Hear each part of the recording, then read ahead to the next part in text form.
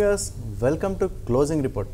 ఇక ఈరోజు మార్కెట్ విశేషాలు అందించేందుకు మనతో పాటు అండి సుందరరాజ గారు ఉన్నారు. గుడ్ ఈవినింగ్ సుందరరాజ గారు. గుడ్ ఈవినింగ్ అండి వెల్ ఇక ఈరోజు మార్కెట్స్ విషయానికి వస్తే ఈరోజు దేశీయ బెంచ్ మార్క్ సూచీలైనటువంటి నిఫ్టీ అలాగే సెన్సెక్స్ రెండు కూడా ఈరోజు నెగిటివ్గా ముగిశాయని చెప్పుకోవచ్చు. ముఖ్యంగా చూసినట్టయితే నిఫ్టీ. నిఫ్టీ వచ్చేసి ఈరోజు దాదాపు థర్టీ ఎయిట్ పాయింట్స్ వరకు ఈరోజు నష్టపోయి ten thousand six hundred and seventy nine points వద్ద ఈరోజు నెగిటివ్గా ముగిగా సెన్సెక్స్ వచ్చేసి సెవెంటీ త్రీ పాయింట్స్ వరకు ఈరోజు నష్టపోయి thirty five thousand one hundred and one nought three points వద్ద ఈరోజు నెగిటివ్గా ముగిసినట్టు మనం చూస్తున్నాం ఇక మరో కీలకమైనటువంటి సూచి బ్యాంక్ నిఫ్టీ చూసినట్టయితే zero point one four points వరకు ఈరోజు లాభపడి పాజిటివ్గా ముగిసింది మనం చూస్తున్నాం ఇక సెక్టార్ పరంగా చూసినట్టయితే మెటల్స్ మినహా దాదాపు అన్ని సెక్టార్స్లో కూడా ఈరోజు ఒక సెల్లింగ్ ప్రెషర్ అనేది మనం చూస్తున్నాము. ముఖ్యంగా ఐటీ కావచ్చు అలాగే రియాలిటీ ఎఫ్ఎంసీజీ ఆటో మీడియా స్టాక్స్లో ఈరోజు చాలా వరకు అమ్మకాల ఒత్తిడి అనేది నెలకొన్నట్టు చూస్తున్నాం. ఇక నిఫ్టీ ఐటీ సూచి నిఫ్టీ ఐటీ సూచి ఈరోజు గరిష్టంగా రెండు శాతం వరకు ఈరోజు నష్టపోయినట్టు మనం చూస్తున్నాం. అలాగే మిడ్ క్యాప్స్లో మిడ్ క్యాప్స్లో కూడా ఈరోజు చాలా వరకు ఒక సెల్లింగ్ ప్రెషర్ అనేది మనం చూస్తున్నాము.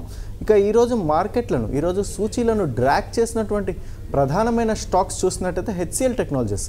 హెచ్సిఎల్ టెక్నాలజీస్ వచ్చేసి ఈరోజు దాదాపు సెవెన్ పర్సెంట్ వరకు ఈరోజు నష్టపోయినట్టు మనం చూస్తున్నాము. అలాగే టాప్ లూజర్గా నిలిచింది హెచ్సిఎల్ టెక్నాలజీస్. అలాగే యూపీఎల్ కావచ్చు Eicher Motors India Bulls Housing Finance Kotak Mahindra bank LNT stocks లాంటి ఎల్ఎన్టీ లాంటి స్టాక్స్ ఈరోజు దాదాపు వన్ టు త్రీ పర్సెంట్ వరకు ఈరోజు నష్టపోయినట్టు మనం చూస్తున్నాం ఇక సూచీలను ఈరోజు బలపరిచినటువంటి స్టాక్స్ ఈరోజు సూచీలో ర్యాలీ చేసినటువంటి స్టాక్స్ చూసినట్టయితే భారతీ ఇన్ఫ్రాటెల్ భారతీ ఇన్ఫ్రాటెల్ వచ్చేసి ఈరోజు దాదాపు త్రీ పర్సెంట్ వరకు ఈరోజు లాభపడి టాప్ గెయినర్గా నిలిచింది. అలాగే హిందాల్కో కావచ్చు Axis Bank ICICI Sun Pharma Vedanta అలాగే టాటా స్టీల్ లాంటి స్టాక్స్ ఈరోజు దాదాపు వన్ టు టూ పర్సెంట్ వరకు ఈరోజు లాభపడ్డట్టు మనం చూస్తున్నాం.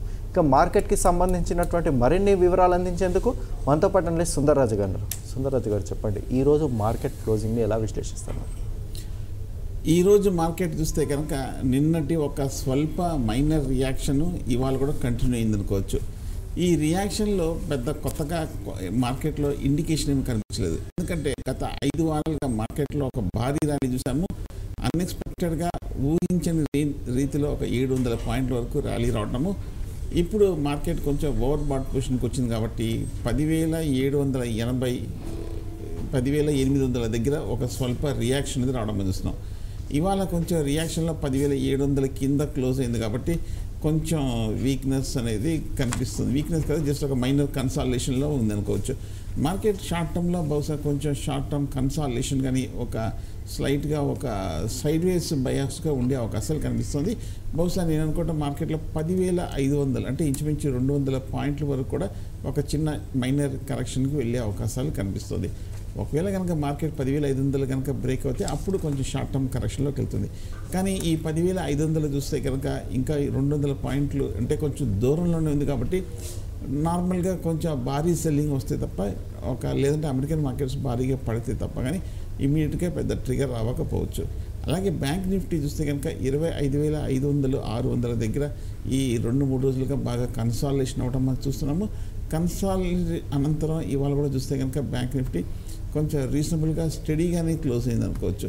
సో ఓవరాల్గా మార్కెట్స్ కొంచెం మిక్స్డ్గా ఉంది. కాకపోతే మీరు చెప్పినట్టు కొన్ని మిడ్ క్యాప్ స్మాల్ క్యాప్లో కరెక్షన్ రావడం మనం చూస్తాము అలాగే కొన్ని స్పెసిఫిక్ స్టాక్స్లో కొంచెం భారీగానే రియాక్ట్ అవ్వడం మనం చూస్తున్నాం అంటే కొంచెం అక్కడక్కడ డిస్ట్రిబ్యూషన్ కూడా జరుగు అవకాశాలు కూడా కనిపిస్తున్నాయి. సో ఏదైనప్పటికీ మార్కెట్ ఒక చిన్న మైనర్ కరెక్షన్ ఉందనుకోవచ్చు. ఆ టెక్నికల్గా ఓవర్ బాట్ పొజిషన్ని అడ్జస్ట్మెంట్ చేస్తుంది అనుకోవచ్చు వెల్ ఇక సెక్టార్ పరంగా చూసినట్టయితే రియాలిటీ స్టాక్స్ రియాలిటీ స్టాక్స్లో ఈరోజు చాలా వరకు ఒక సెల్లింగ్ ప్రెషర్ అనేది మనం చూస్తున్నాం. ముఖ్యంగా నిఫ్టీ రియాలిటీ సూచి చూసినట్టయితే దాదాపు one point six six percent వరకు ఈరోజు నష్టపోయినట్టు మనం చూస్తున్నాము. ముఖ్యంగా దీనికి సంబంధించినటువంటి ఈ ప్యాక్లో ఉన్నటువంటి స్టాక్స్ మనం ప్రధానంగా గమనించినట్టయితే హెచ్డిఐఎల్ హెచ్డిఐఎల్ వచ్చేసి ఈరోజు దాదాపు సిక్స్ పర్సెంట్ వరకు ఈరోజు నష్టపోయినట్టు మనం చూస్తున్నాము. అలాగే India Bulls real estate India Bulls real estate కూడా దాదాపు త్రీ పర్సెంట్ వరకు నష్టపోయింది. అలాగే ఒబ్రా రియాలిటీ ఒబ్రా రియాలిటీ కూడా త్రీ పర్సెంట్ యూనిటెక్స్ త్రీ పర్సెంట్ అలాగే ప్రెస్టీజ్ స్టేట్స్ కూడా అలాగే బ్రిగేడ్ ఎంటర్ప్రైజ్ డిఎల్ఎఫ్ లాంటి స్టాక్స్ కూడా దాదాపు వన్ పర్సెంట్ వరకు ఈరోజు నష్టపోయిన చూస్తున్నాం. గోద్రేజ్ ప్రాపర్టీస్ కూడా దాదాపు వన్ పాయింట్ త్రీ పర్సెంట్ వరకు ఈరోజు నష్టపోయింది. సార్ చెప్పండి. రియాలిటీ ఇండెక్స్ రియాలిటీ ఇండెక్స్లో మనం చూసినట్టయితే మనకి గోద్రేజ్ ప్రాపర్టీస్ కావచ్చు అలాగే ప్రెస్టీజ్ ఎస్టేట్స్ శోభ ఈ మూడు స్టాక్స్ కూడా మనం చూసినట్టయితే గత కొద్ది కాలంగా ఒక స్టడీ పర్ఫార్మెన్స్ అనేది కనిపించాం ముఖ్యంగా శోభా రియాలిటీ. శోభా రియాలిటీ చూసినట్టయితే గత కొద్ది కాలంగా మనకి ఒక అవుట్ పర్ఫార్మెన్స్ అనేది చూస్తున్నాం ఈ స్టాక్లో. మనం ఫిఫ్టీ టూ వీక్స్ హై కూడా టచ్ చేసి అక్కడి నుంచి దాదాపు కరెక్ట్ అవుతూ వస్తుంది ప్రస్తుతం శోభా రియాలిటీ. ప్రస్తుతం ఈ ప్రైస్ పాయింట్లో శోభాలో ఏమైనా ఎంటర్ అయ్యే అవకాశం ఉందంటారా? శోభా రియాలిటీ చూస్తే కనుక ఈ గత లాస్ట్ వన్ ఇయర్గా బాగా స్ట్రాంగ్ పెర్ఫార్మెన్స్ చూసాము. అది లాంగ్ టర్మ్లో షార్ట్ టర్మ్లో చూస్తే కనుక కొంచెం ఆరు వందల అరవై రూపాయల దగ్గర నుంచి ఐదు వందల యాభై రూపాయల వరకు ఒక స్వల్ప రికవరీ అనేది రావడం మనం చూస్తున్నాం. ఓవరాల్గా చూస్తే కనుక శోభా రియాలిటీ కొంచెం స్ట్రాంగ్ స్పేస్లోనే ఉందనుకోవచ్చు. టెక్నికల్గా కూడా చూస్తే కనుక కొంచెం అప్ ట్రెండ్లో ఉందనుకోవచ్చు. ఓవరాల్గా మనం చూస్తే కనుక ఫండమెంటల్ కూడా Sobha real estate construction company బాగా పాజిటివ్గానే ఉందనుకోవచ్చు. ఓవరాల్గా చూస్తే కనుక శోభ రియల్ శోభా ఇండస్ట్రీస్ కొంచెం వాల్యుయేషన్ పాయింట్ ఆఫ్ వ్యూలో కూడా చూస్తే కనుక చాలా పాజిటివ్గానే కనిపిస్తుంది. అలాగే ఓవరాల్గా ఫైనాన్షియల్స్ కూడా చూస్తే కనుక శోభాకి బాగా పాజిటివ్గానే ఉందనుకోవచ్చు. Uh, సో ఓవరాల్గా చూస్తే కనుక కొంచెం ఈ మధ్య షార్ట్ టర్మ్ ఒకసారి టెక్నికల్ పిక్చర్ చూస్తే కనుక ఈ మధ్య వచ్చిన హైకి లోకి మధ్యలో ప్లేస్ అయ్యి ఉంది. అంటే హై ఇంచుమించు ఆరు వందల నలభై రూపాయలు గరిష్ట స్థాయిని నమోదు చేసుకుంది మొన్న జనవరిలో. లో చూస్తే కనుక కనిష్ట స్థాయి నాలుగు వందల అరవై రూపాయలు నమోదు చేసుకుంది. ఆ రెండింటికి మధ్యన ఐదు వందల యాభై రూపాయల్లో ఉంది. ఒకటి కొనాలనుకుంటే కనుక నా ఉద్దేశము మళ్ళీ ఒక డిప్ వచ్చినప్పుడు. ఈ మధ్య కాలంలో లాస్ట్ వన్ మంత్గా శోభ బాగా పెరిగింది కాబట్టి కొంచెం మళ్ళీ ఒక చిన్న డిప్ వచ్చి ప్రీవియస్ బాటమ్ అంటే ప్రీవియస్ పీ లో ఏదైతే ఉందో ఇంచుమించు ఎగ్జాక్ట్లో కాకపోయినా కొంచెం హయ్యర్ లెవెల్స్లో అంటే దాన్ని హయ్యర్ బాటమ్ అంటారు. హయ్యర్ బాటమ్ ఫామ్ అయినప్పుడు ఒకవేళ ఫైవ్ హండ్రెడ్ లెవెల్స్కి వచ్చితే కనుక ఆ లెవెల్లో బై చేయొచ్చు ఈ కన్స్ట్రక్షన్ కంపెనీని. వెల్ ఇక సెక్టార్ పరంగా మరో సెక్టార్ చూసినట్టయితే మెటల్స్ మెటల్స్లో ఈరోజు చాలా వరకు ఒక స్టడీ పర్ఫార్మెన్స్ అని మనం చూస్తున్నాం. నిఫ్టీ మెటల్స్ సూచి చూసినట్టయితే ఈరోజు దాదాపు zero point seven six percent వరకు ఈరోజు లాభపడ్డట్టు మనం చూస్తున్నాము. ముఖ్యంగా చూసినట్టయితే ఈ ప్యాక్లో ఉన్నటువంటి ప్రధానమైన స్టాక్స్ హిండాల్కో కావచ్చు అలాగే టాటా స్టీల్ వేదాంత లాంటి స్టాక్స్ ఈరోజు దాదాపు వన్ టు టూ పర్సెంట్ వరకు లాభపడ్డట్టు మనం చూస్తున్నాం. సార్ చెప్పండి టాటా స్టీల్ టాటా స్టీల్ చూసినట్టయితే ఈ స్టాక్ ప్రస్తుతము ఈ స్టాక్ కూడా దాదాపు ఫిఫ్టీ టూ వీక్స్ హై నుంచి కూడా కరెక్ట్ అవుతూ వస్తుంది. ప్రస్తుతం ఈ స్టాక్లో మనము ఈ ప్రైస్ పాయింట్లు ఏమైనా పిక్ చేసుకునే అవకాశం ఉందంటారా? ఈ స్టాక్లో మేము వరస్ట్ ఫేస్ మనం ఏదైతే కరెక్షన్ ఫేజ్ అయితే ఉందో అది ఎండ్ అయినట్టు భావించవచ్చు అంటారా టాటా స్టీల్ కూడా చూస్తే కనుక ఒకప్పుడు మెటల్ ర్యాలీలో బాగా పార్టిసిపేట్ చేసిన స్టాక్ ఈ స్టాక్ చూస్తే కనుక ఒక నాలుగైదు రెట్లు కూడా పెరిగిన స్టాక్ గత మూడేళ్ళలో. కానీ ఓవర్ వాల్యూస్ తెచ్చడంతో స్టాక్ కొంచెం ఎక్స్పెన్సివ్గా ఉంది. పిఈ పాయింట్ ఆఫ్ వ్యూలో చూస్తే కనుక కొంచెం హయ్యర్ ప్రైస్ స్టాక్ ఉన్నట్టు కనిపిస్తుంది. దానితో టెక్నికల్గా బాగా బాగా పెరగడంతో స్టాక్లో కూడా చూస్తే కనుక బాగా ఓవర్బాట్ పొజిషన్లో కనిపిస్తుంది. అలాగే మొన్న రిజల్ట్స్ కూడా చూస్తే కనుక ఓవరాల్గా పాజిటివ్గానే ఒక స్ట్రాంగ్ గ్రోత్ అనేది మనం టాటా స్టీల్లో రావడం అనేది చూస్తున్నాము. ఈ మధ్య కాలంలో చూస్తే కనుక రికార్డ్ అవుట్పుట్ కూడా వచ్చినట్టు కూడా కొన్ని వార్తలు కూడా రావడం అందిస్తున్నాం. సో ఓవరాల్గా చూస్తే కనుక ఫండమెంటల్గా చూస్తే కనుక ఈ టాటా స్టీల్ చాలా స్ట్రాంగ్ ఫుటింగ్లో ఉందనుకోవచ్చు. కాకపోతే టెక్నికల్గా చూస్తే కనుక కొంచెం హై నుంచి కరెక్షన్ రావడం కొంచెం షార్ట్ టర్మ్ రియాక్షన్ కూడా వచ్చే అవకాశాలు కనిపిస్తుంది. ఒక ఈ లాస్ట్ వన్ మంత్గా చూస్తే కనుక ఇండెక్స్తో పోలిస్తే టాటా స్టీల్ కొంచెం అండర్ పెర్ఫామ్ చేసింది అనుకోవచ్చు ఇండెక్స్తో పోలిస్తే కరస్పాండింగ్ రేట్ ఆఫ్ రిటర్న్ అనేది స్టాక్ ప్రైస్ పాయింట్ ఆఫ్ వ్యూలో వచ్చినట్టుగా కనిపించలేదు.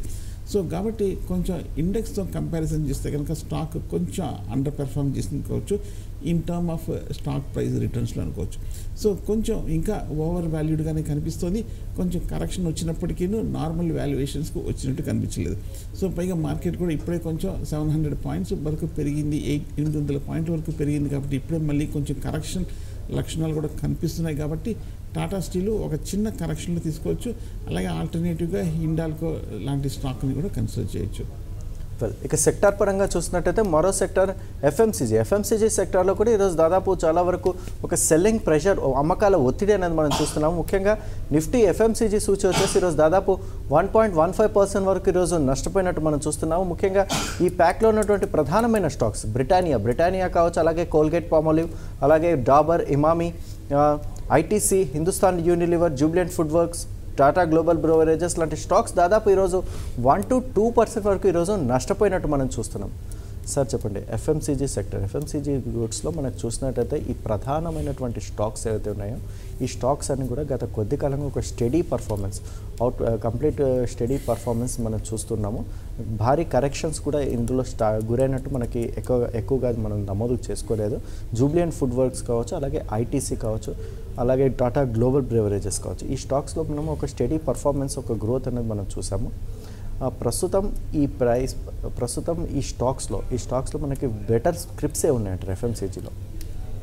ఓవరాల్గా చూస్తే కనుక ఎఫ్ఎంసీజీ ఇండెక్స్ ఈ మధ్య కాలంలో బాగా అవుట్స్టాండింగ్ పెర్ఫార్మెన్స్ అనేది ఇవ్వటం మనం చూస్తున్నాము. ఈ స్టాక్ చూస్తే కనుక ఈ మధ్య కాలంలో ఒక లాస్ట్ ఒక వన్ మంత్ మార్కెట్ రియాక్షన్లో చూస్తే కనుక న్యూ మార్కెట్ అప్ ట్రెండ్లో చూస్తే కనుక న్యూ పీక్ టెస్ట్ చేయడం చూస్తున్నాం. ఎఫ్ఎంసీజీ ఇండెక్స్ చూస్తే కనుక ఇంచుమించు ఇరవై ఐదు వేల ఎనిమిది వందల నుంచి ఇరవై తొమ్మిది వేల రెండు వందల వరకు వెళ్ళటము మనకి ఆల్ టైమ్ హై లెవెల్స్ని రికార్డ్ స్థాయికి చేరుకోవడం మనం చూస్తున్నాము. ముఖ్యంగా లాస్ట్ వన్ మంత్గా చూస్తే కనుక ఏ ఇండిసెస్ ఏ సెక్టర్ పెరగనంతగా ఒక స్ట్రాంగ్ గ్రోత్ అనేది ఎఫ్ఎంసీజీ ఇండెక్స్ రావడం మనం చూస్తున్నాం. టెక్నికల్గా ఓవర్ బాట్లో ఉంది. New peak fifty two week all time గరిష్ట స్థాయిలో ఉంది కాబట్టి ఈ సెగ్మెంట్లో స్టాక్స్ అన్ని కూడా ఒక ప్రస్తుతానికి కొంచెం నార్మల్ టెక్నికల్ రియాక్షన్కి గురవటం మనం చూస్తున్నాం. ఈ మధ్య కాలంలో చూస్తే కనుక మనకి specific FMCG stocks Hindustan lever కానీ ఐటీసీ కానీ చూస్తే కనుక బాగా పెరగడంతో ఈ పీక్ స్టేజ్లో చూస్తే కనుక ఇప్పుడే ఒక ఇండస్ట్రీ పీబైతో పాటు ఒక రీజనబుల్ లెవెల్స్కి వచ్చింది అనుకోవచ్చు. అంటే అంతగతం నెల క్రితం చూస్తే కనుక కొంచెం చీపర్గా ఉన్న ఎఫ్ఎంసీజీ స్టాక్స్ ఈ లాస్ట్ ఒక వన్ ఆర్ టూ మంత్స్గా పెరగడంతో ఇప్పుడు కొంచెం రీజనబుల్ లెవెల్స్కి వచ్చింది అనుకోవచ్చు.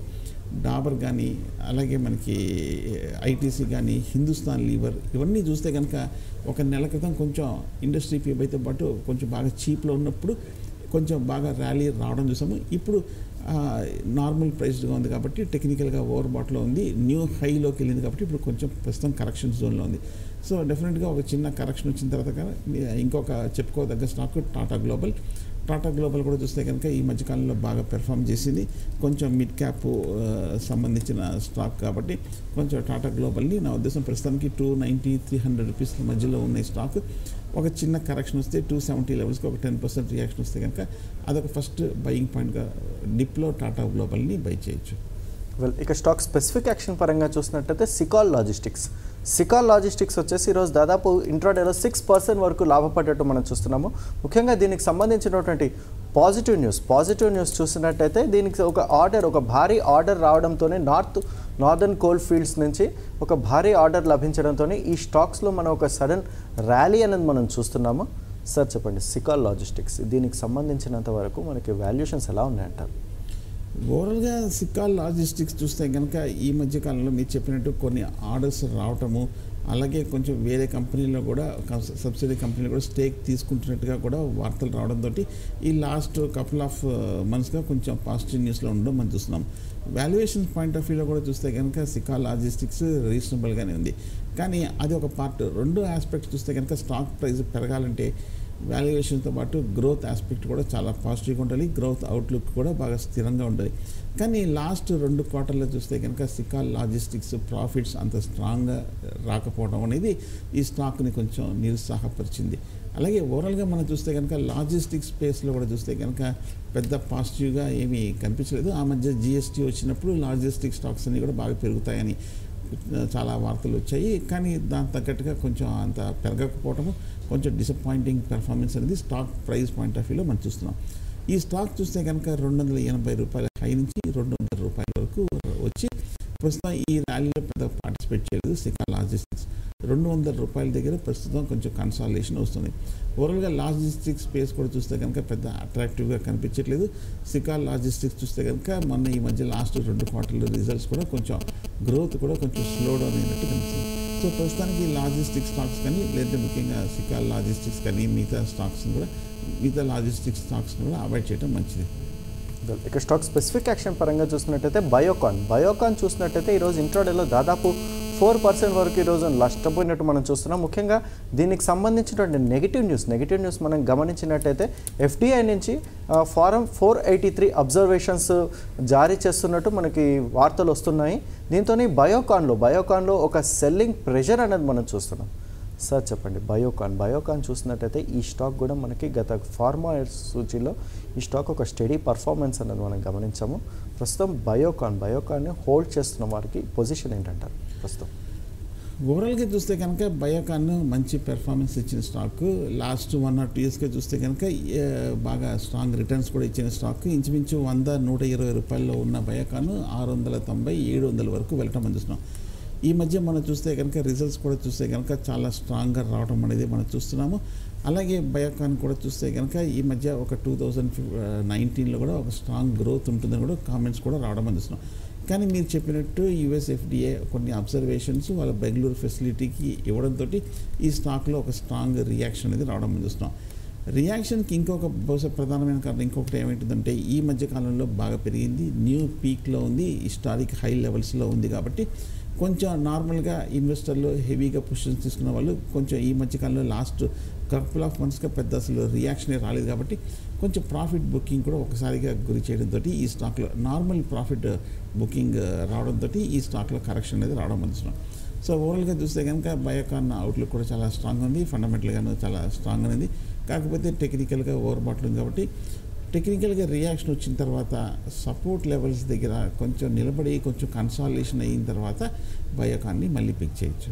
వెల్ ఇక స్టాక్ స్పెసిఫిక్ యాక్షన్ పరంగా చూసినట్టయితే Team Lease Services Team Lease Services వచ్చేసి ఈరోజు ఇంట్రోడేలో దాదాపు ఎయిట్ పర్సెంట్ వరకు ఈరోజు లాభపడ్డట్టు మనం చూస్తున్నాము.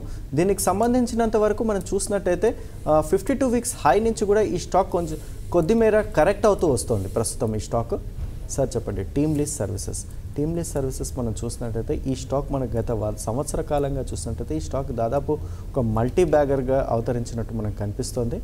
ప్రస్తుతం ఈ స్టాక్ కూడా దాదాపు ఫిఫ్టీ టూ వీక్స్ హై నుంచి కరెక్ట్ అవుతూ వస్తుంది. ప్రస్తుతం ఈ ప్రైస్ పాయింట్లో ఏమైనా ఎంటర్ అయ్యే అవకాశం ఉందంటారా? అలాగే దీని ర్యాలీ ఎంతవరకు కొనసాగే అవకాశం ఉందంటారు? ఓవరాల్గా టీమ్ లీజ్ చూస్తే కనుక ఒక స్ట్రాంగ్ పెర్ఫార్మెన్స్ అనేది మనం చూస్తున్నాము. లాస్ట్ కపుల్ ఆఫ్ మంత్స్గా చూస్తే కనుక ఒక స్టడీ ప్రాఫిట్స్ అనేది రావడం అనేది మనం చూస్తున్నాము టీమ్ లీవ్ సర్వీసెస్లో. ఓవరాల్గా ఈ స్టాక్ కూడా చూస్తే కనుక ఒక మేజర్ రన్అప్ అనేది రావడం